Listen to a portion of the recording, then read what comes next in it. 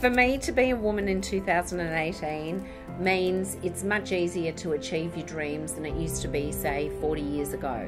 where women were expected to stay home, look after the kids. Today, women can do whatever they want to do, whatever their dreams are, and the equality thing's really important because now I expect the men around the house to help cook, help do the dishes because we're working just as bloody hard.